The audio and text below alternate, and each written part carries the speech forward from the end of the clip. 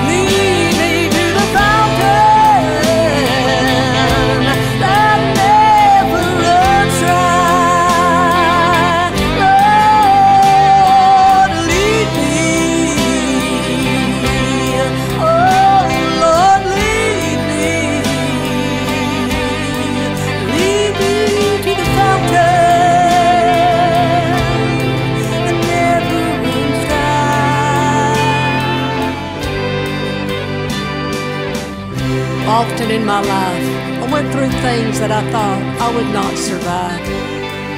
The ground underneath my feet was shaken. Then I remembered the rock, the rock that is higher than I. And I cried, Lord, lead me to the rock.